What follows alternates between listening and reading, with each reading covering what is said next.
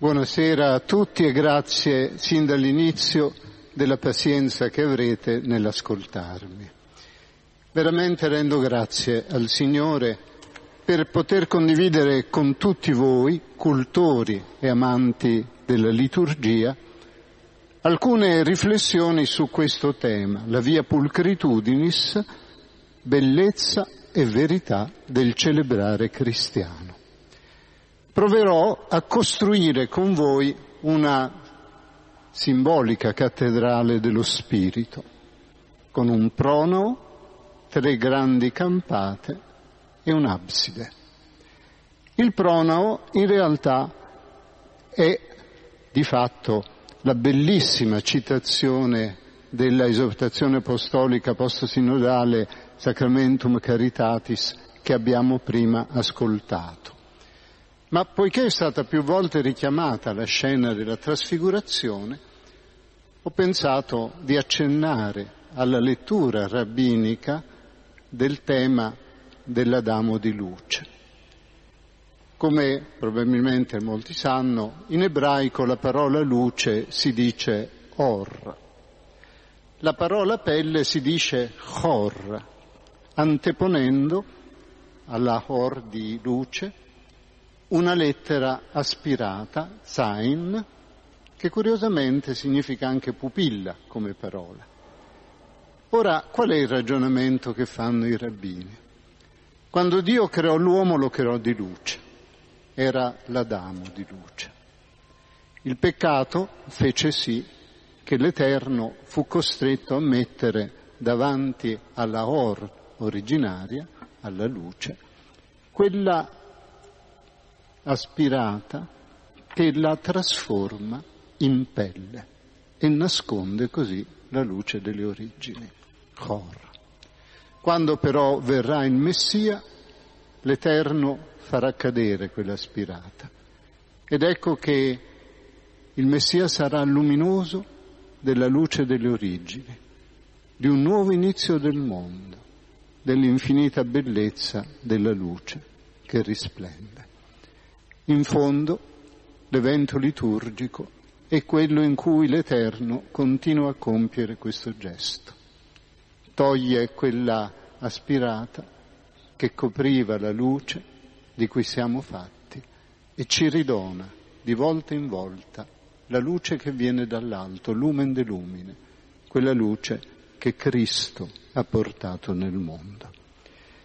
Ebbene, alla luce di questo prono, io vorrei presentarvi queste tre grandi campate della simbolica cattedrale dello Spirito. La prima è quella che riflette brevemente sul rapporto fra verità e bellezza. La seconda, partendo dall'idea agostiniana di bellezza come ordo amoris, sviluppa il rapporto fra liturgia, verità e bellezza secondo la prospettiva agostiniana. E la terza, partendo invece dalla lettura tomista della bellezza come splendor veritatis, riflette su come la bellezza risplenda nella liturgia come verità che salva. Dunque, attraverso questi tre passaggi, cercherò di rispondere alla domanda che tutti ci motiva, e cioè come la riflessione cristiana sul bello quale riflesso e splendore del vero, sperimentato e accolto nella liturgia, possa diventare scelta pastorale, itinerario per un rinnovamento della vita ecclesiale in conformità al disegno divino d'amore rivelato e donato nel bel pastore o poimen o calos nella conclusione che è figurata dall'abside della nostra cattedrale dello Spirito, tenterò di fare delle idee presentate materia di contemplazione e di lode, stimolando a tradurre il logos in imnos, la riflessione in lode alla bellezza e alla verità del Dio tre volte santo. Comincio dunque dalla prima campata di questa simbolica cattedrale dello Spirito. La liturgia, verità e bellezza. Certamente questo rapporto è radicato nella natura stessa dell'azione liturgica, perché essa rende presente il mistero pasquale, dove Cristo, il pastore bello, ci fa partecipi della vita divina. E quello che abbiamo ascoltato da Sacramentum Caritatis in questo bellissimo numero 35 è quello che a sua volta Papa Francesco ribadisce con forza nella Evangelii Gaudium, sottolineando che la Chiesa evangelizza e si evangelizza con la bellezza della liturgia, la quale è anche celebrazione dell'attività evangelizzatrice e fonte di un rinnovato impulso a donarsi. Dunque, la intera storia della fede proclamata, celebrata e vissuta attesta come l'azione liturgica si compie attraverso un insieme di signa sensibilia, di segni sensibili, che attualizzano nel tempo il mistero dell'incarnazione del Figlio eterno. Ce lo dice Leone Magno con una frase forte, molto bella. Quanto del nostro Redentore si è reso visibile e passato nei sacramenti. Dunque la liturgia come una sorta di prolungamento dell'incarnazione, di sua attualizzazione nel tempo e nello spazio, per renderci partecipi di quel contatto, con, di quel tocco di Dio, avrebbe detto Joseph Ratzinger, che illumina e salva. Fin da subito aggiunge Papa Francesco, la Chiesa ha compreso, illuminata dallo Spirito Santo, che ciò che era visibile in Gesù, ciò che si poteva vedere con gli occhi e toccare con le mani, le sue parole, i suoi gesti, la concretezza del Verbo incarnato, tutto di lui è passato nella celebrazione dei sacramenti. Insomma, nella liturgia i sensi sono coinvolti quale veicolo per raggiungere i fedeli, per renderli partecipi della vita divina. Anche così risulta evidente, e la liturgia ne è la prova vivente, che il cristianesimo, lungi dall'essere una salvezza dalla storia, una fuga mundi, è una salvezza della storia, dove il divino entra e trasfigura l'umano con la grazia che in Gesù Cristo ci è stata donata. E allora ecco una prima riflessione. Che cosa fa sì che nella liturgia verità e bellezza si incontrino? La mia è una risposta molto concreta, a prima vista perfino brutale, e cioè ciò che gioca un ruolo fondamentale nella liturgia sono i sensi quei sensi che sono il veicolo, se volete, le porte, attraverso cui l'umano è raggiunto dal divino e a sua volta si mette in comunicazione con il Signore vivente. Una fede educata dalla liturgia, nutrita da essa e celebrata in essa, è una fede che valorizza il sensibile e l'umano in tutte le sue espressioni perché quel figlio venuto fra noi si è servito di questi canali. Attraverso l'udito ci ha comunicato la parola di vita, attraverso il tatto si rende percepibile nei gesti sacramentali e nelle opere di carità, si fa nostro cibo, offrendosi al gusto nel pane di vita e nel vino salutare, attraverso l'olfatto ci fa assaporare il suo profumo, il profumo di Cristo.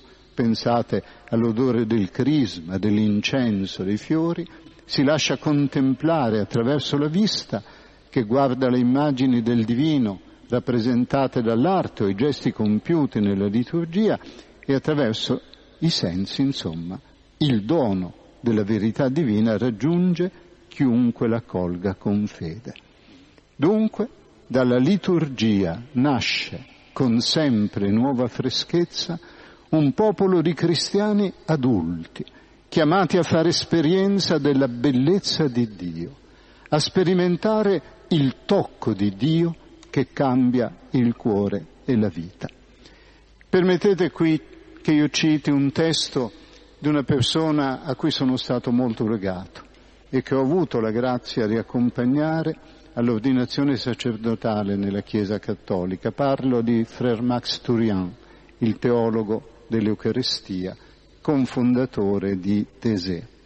Ebbene, Max nella sua giovinezza, appena 26 anni, aveva scritto un piccolo libro che è un autentico gioiello. Il libro si intitola così Joie du ciel sur la terre, introduction à la vie liturgique. Gioia del cielo sulla terra, introduzione alla vita liturgica.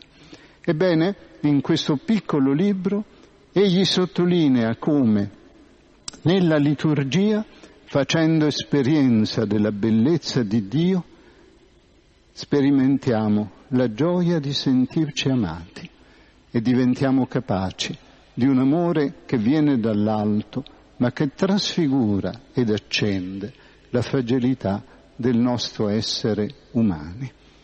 Ecco allora questa idea centrale. Nella liturgia Dio viene a toccarci attraverso i sensi ed è attraverso di essi che ci trasmette la bellezza del suo amore infinito. Peraltro è quanto Papa Francesco afferma nella lettera, lo dico con sincerità, veramente molto bella, desiderio desideravi. Dice così, la liturgia non ci lascia soli nel cercare un'individuale presunta conoscenza del mistero di Dio. La liturgia ci prende per mano, insieme, come assemblea, per condurci dentro il mistero che la parola e i segni sacramentali ci rivelano e lo fa coerentemente con l'agire di Dio, seguendo la via dell'incarnazione attraverso il linguaggio simbolico del corpo che si estende nelle cose, nello spazio e nel tempo. Ancora una volta la liturgia ci fa capire come la corporeità, la fisicità, la storicità nelle sue espressioni più concrete sono il veicolo e il luogo della presenza di Dio. Come non citare, specialmente oggi, celebriamo Sant'Agostino, un'espressione bellissima delle confessioni. Quando Agostino, e siamo nel capitolo, nel libro decimo, scusate, delle confessioni, scrive così. Che cosa amo quando amo te, Signore? Amo una sorta di luce, voce, odore, cibo, amplesso nell'amare il mio Dio. La luce, la voce, l'odore, il cibo, l'amplesso dell'uomo interiore che è in me, dove splende alla mia anima una luce non avvolta dallo spazio, risuona una voce non travolta dal tempo, olezza un profumo non disperso dal vento, dove è colto un sapore non attenuato dalla voracità, dove si annoda una stretta non interrotta dalla sazietà. Questo amo quando amo il mio Dio. È bellissima questa testimonianza di un innamorato che dice come l'amore all'Eterno che ha afferrato il suo cuore e la sua vita è tutt'altro che disincarnato, è invece un'esperienza che lo prende totalmente, lo trasforma attraverso i sensi. Ed ecco allora che la tradizione teologica e spirituale ha elaborata quella bellissima dottrina dei sensi spirituali. Io credo che senza tener presente questa tradizione non si capirà mai fino in fondo il valore straordinario che la liturgia ha avuto ed ha nella vita della Chiesa. Che cosa sono i sensi spirituali? Sono quei sensi, i nostri sensi, che, toccati dall'azione dello Spirito Santo, diventano il luogo e lo strumento dell'azione di Dio in noi. Grazie a questo tocco dello Spirito, i sancta, cioè i segni eucaristici, l'olio dell'unzione, l'acqua lustrale e così via, diventano trasmissione del Santo, che a sua volta ci rende partecipi della santità sua. Sono i tre significati dell'espressione communio sanctorum, che sin dai tempi più antichi la Chiesa utilizza per definire se stessa. La comunio sanctorum è, in primo luogo, la comunio sancti, è lo spirito che unifica la Chiesa, che passa attraverso i sancta, cioè i segni sensibili della liturgia, e genera quella comunione dei santi, cioè quell'unità delle donne e degli uomini in Cristo nello Spirito che fa della Chiesa l'icona della Trinità del tempo. Ma sottolineo, tutto questo avviene attraverso i sensi toccati dallo Spirito, i sensi spirituali come li chiama la tradizione cristiana. Che cos'è questa se non la meravigliosa syncatabasis, cioè accondiscendenza di un Dio che viene attraverso le vie della nostra quotidianità a raggiungerci e a trasformare la nostra vita. Ecco questa è la vera bellezza della liturgia. È un incontro d'amore in cui l'amato si rende presente e proprio così trasforma la nostra povertà nella sua luce. È quello che, ad esempio, uno dei grandi mistici della Chiesa, San Giovanni della Croce, esprime nella sua bellissima poesia della noce oscura. Dico queste parole, una strofa della noce oscura, che potrebbero sintetizzare in profondità l'esperienza liturgica. O noce más amabile che alborada, o notte più amabile dell'aurora, o noce che juntaste, amado con amada, amada e nell'amado trasformata. O notte più amabile dell'aurora, o notte che hai congiunto l'amata con l'amato, l'amata nell'amato trasformata. Questa è la liturgia e questo incontro d'amore dell'amato con noi. Ed ecco perché la liturgia non può essere vissuta se non nello stupore, quello stupor che continuamente è stato sottolineato dalla tradizione teologica e spirituale e che Papa Francesco ha fortemente sottolineato come esperienza del tocco di Dio, della sua presenza come bellezza e verità. Quali sono allora i due grandi sviluppi che questa riflessione avrà nella tradizione cristiana? Possiamo dire che la riflessione cristiana sulla bellezza, che ora io applicherò alla liturgia, si è espressa in due grandissimi maestri, Agostino e Tommaso. L'idea di Agostino è l'idea classica della bellezza, la bellezza come proporzione, armonia, come forma. In latino, come sappiamo, bellezza si dice, bello si dice formosus, cioè che ha forma, armonia.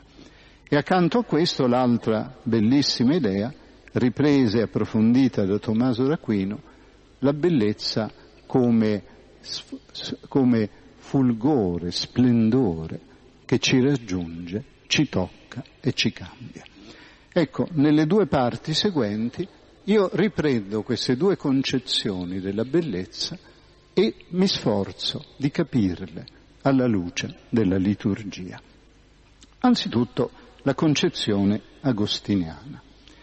C'è un libro che consiglierei molto ricco di Ciol, Dio e il bello in Sant'Agostino, in cui egli ci fa capire che Agostino, durante tutta la sua vita, prima e dopo la conversione, si è occupato di un unico tema, la bellezza, perché vedeva in questo tema la via umana per accedere a Dio e la via divina per accedere all'uomo.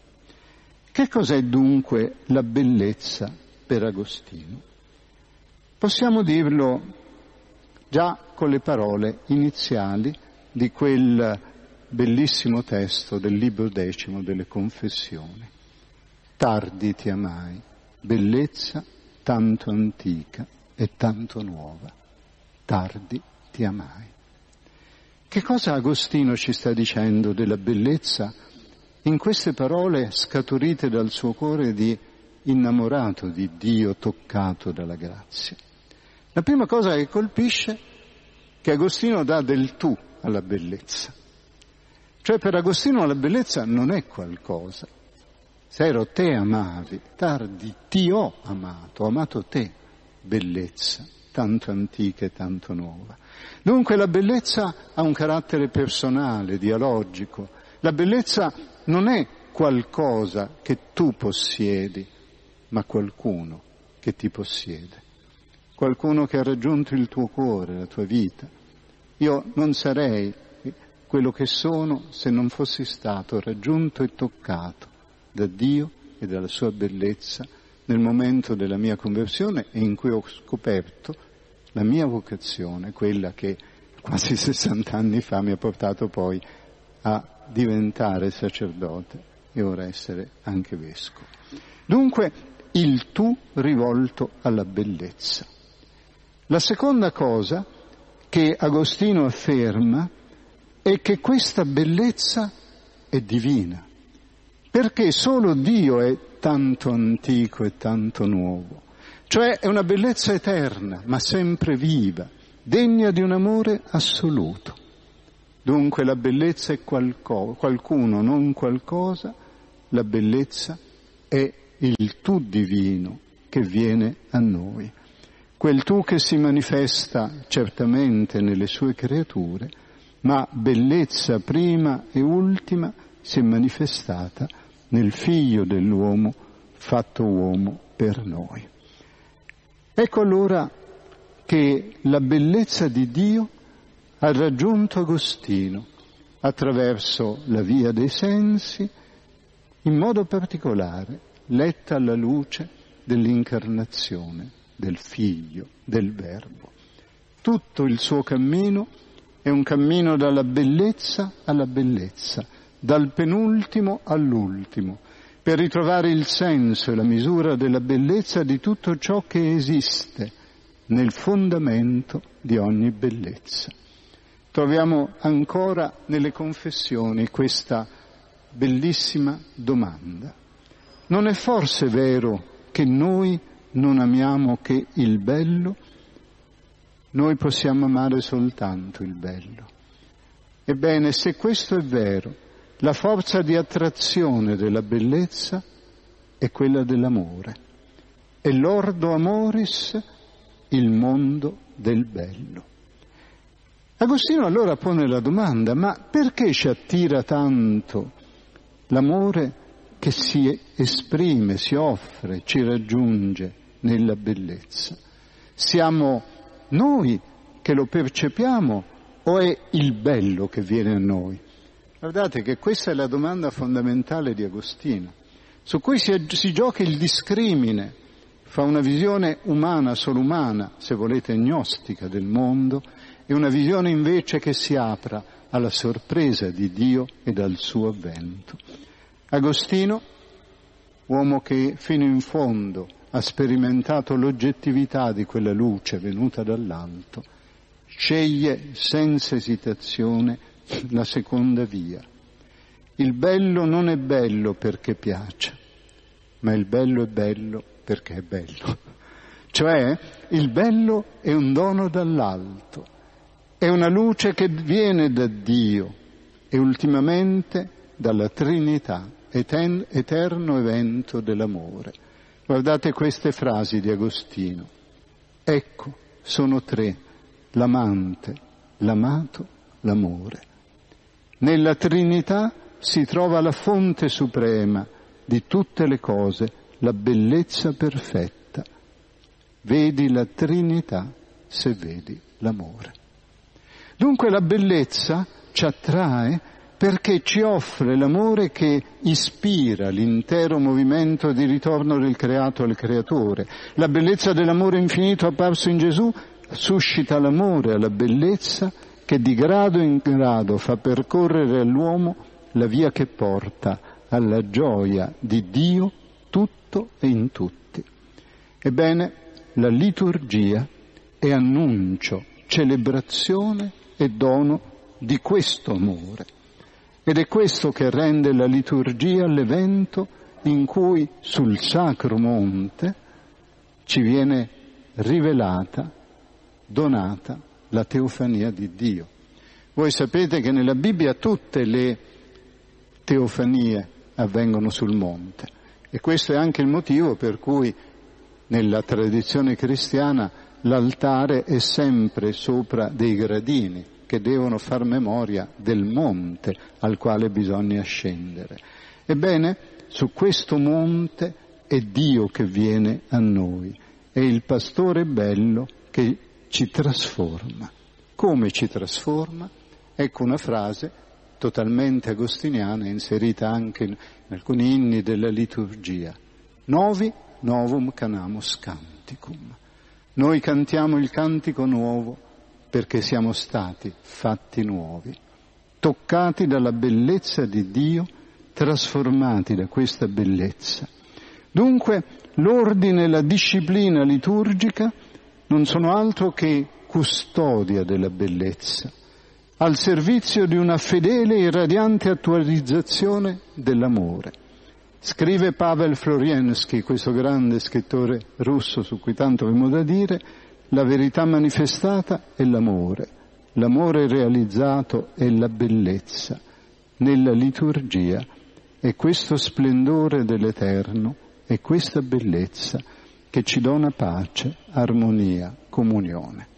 Dunque la visione agostiniana fa della bellezza il luogo in cui la proporzio, l'armonia si realizza, della liturgia il luogo in cui la comunione ecclesiale si fonda, si esprime, si nutre, e proprio per questo la liturgia ci dona gioia e pace. Agostino dice lì cioè nella liturgia eterna di cui quella terrestre è anticipazione, ci riposeremo e vedremo, vedremo e ameremo, ameremo e loderemo. Oh, ecco ciò che sarà alla fine, senza fine. Questo è un primo quadro, la bellezza come forma, armonia, pace, accanto al quale si congiunge una seconda visione che sarà quella dominante nel secondo millennio cristiano. Qua mi rifaccio non solo a quel bellissimo studio di Umberto Eco sulla estetica di San Tommaso d'Aquino, la sua tesi di laurea, che lui non ha mai rinnegato, anzi ha ripubblicato dopo molti anni senza minimamente cambiarla. Ma mi rifaccio alla convinzione che questa visione della bellezza che Tommaso fa sua sarà poi quella che ispirerà addirittura il moderno, fino agli esiti del secolo ultimo. Cioè una visione che in tante versioni, religiosa, teologica, spirituale, ma anche laica, perfino, eh, come dire, uso un'espressione grossa, atea, ha poi percorso l'intera storia dell'Occidente. Ebbene, questa definizione della bellezza la prendo in modo particolare nella pars prima della summa teologia. Tommaso, come sapete, ha strutturato la summa in maniera geniale. La summa è fatta di tre movimenti, l'exitus ad eo, il reditus ad deum e all'incontro dei due movimenti Cristo. Quindi è una visione organica, estremamente luminosa, chiara. Ebbene, questa visione Tommaso la porta anche nella concezione della bellezza. La sua tesi è questa. La bellezza ha a che fare con ciò che è proprio del figlio. Traduco il linguaggio secco della sua scolastica in questi modi. Se vuoi capire che cos'è la bellezza, contempla Gesù ama il Cristo. È lui la vera scuola della bellezza. Ma perché in Gesù, il Cristo, la bellezza si manifesta e si dona? Per questi tre motivi. Primo, nel Cristo c'è l'integritas, la totalità dell'amore divino. Dio non avrebbe dar, potuto darci più amore di quanto ci ha dato in Gesù. Dunque, se sei un assetato di bellezza e un assetato d'amore, sappi che troverai al massimo livello, nel grado più profondo, la bellezza e l'amore nel Verbo fatto carne. Ma questa integritas, questa totalità, si esprime con due vie, dice Tommaso negli stessi articoli, primo questo 73, articolo 1c, la proporzio e la claritas. Finché parliamo di proporzio, Tommaso non fa altro che riprendere Agostino. La bellezza è armonia, è pace, è comunione. Quando celebriamo una liturgia bella, cresciamo anche nel nostro essere uno, nell'amore dei tre che sono uno. Ma accanto alla proporzio Tommaso sviluppa l'altro motivo, quello che in Agostino era assente, anche se piccola, un piccolo accenno lui ne, lo ha nel De Trinitate, e cioè il motivo della claritas. Che cos'è la bellezza come claritas? Non è una bellezza armonica, pacificante. La claritas è come una folgore, una luce che ci trapassa da una parte all'altra è qualcosa che noi non afferriamo, ma che ci tocca, trasforma, cambia. Potremmo dirlo con un'espressione bellissima che io traggo dall'inno delle lodi del lunedì della terza settimana. Splendor paterne glorie, de luce lucem proferens, lux lucis et fons luminis, diem dies illuminans, o splendore della gloria del Padre, luce della luce, luce della luce sorgente della luminosità, giorno che illumini il giorno. La claritas è lo splendore che illumina l'intelligenza, il tutto che ci raggiunge, ci tocca, ci trasforma, perfino ci travolge e ci cambia. Dunque non c'è solo una visione pacificante della bellezza, c'è una visione della bellezza esprimo il termine e poi cerco di chiarificarlo, agonica. Cioè c'è una bellezza che è lotta, che è passione, che è tormento. Non è solo la bellezza che ti acquieta, ma la bellezza che ti rapisce, ti incanta, ti ferisce. È quello che, per esempio, Tommaso esprime nell'adoro te devote. Che cosa dice in realtà Tommaso in questo testo straordinario. Il Dio nascosto si offre nei segni sacramentali, lasciandosi contemplare in essi come l'approdo a cui il cuore di chi crede può totalmente abbandonarsi in un'unione di vita piena e bella, come può essere solo quella in cui l'infinito si fa piccolo per essere toccato da noi. I sensi sono rapi, rapiti dall'esperienza della fede che risponde, risponde all'ascolto della parola. E questa partecipazione nel tempo della bellezza divina è pegno, anticipo e promessa della bellezza eterna. Gesù, quem velatum nunc aspicio, oro fiat illud quod tansitio, ut te revelata cernens face, visus in beatus tue gloria. Dunque la meditazione di Tommaso sulla bellezza unisce due mondi, l'anima greca che coniuga il molteplice all'ordinata presenza dell'uno e l'anima ebraico-cristiana con la sua fede nel Dio entrato nella storia, che irrompe nella notte del tempo come luce, come fuoco divorante, che parla le parole degli uomini e stringe alleanza con loro, fedele alle promesse fino al farsi carne del figlio. A definire il bello, ecco l'espressione tinte- sintetica della seconda seconda e la questo 145, l'articolo 2 dice a definire il bello concorrono sia la luminosità che la proporzione dovuta. Tommaso, punto d'incontro delle due anime cristiane. E sarà lungo questa via che nascerà la parola che poi avrà successo nelle lingue romanze. Perché noi diciamo bello il bello? Ce lo spiega Tommaso. Perché il, la bellezza non è altro che l'infinito bene, il bonum, che si è fatto piccolo per essere toccato e amato da noi. Bonicellum. Ed ecco che da bonicellum nasce la parola bello. Il bello non è altro che un bene piccolo che si è concentrato per essere amato, per raggiungerci. Oserei dire il bello è il minimo infinito, cioè l'infinito che si consegna nella fragilità di un segno, di un gesto, di una parola, esattamente come avviene nella liturgia. Ed ecco perché non esito a concludere che anche per Tommaso la grande scuola dove lui ha imparato a conoscere il bello, a definirlo come bonicellum e a cogliere la luce, ma anche la pace che la bellezza dona, è stata la scuola della liturgia. Ecco perché ho voluto citare la Dorote Devote, che nasce proprio dall'esperienza liturgica del sacrificio pasquale attualizzato nell'Eucarestia e dalla adorazione che è preparazione e prolungamento di tutto questo.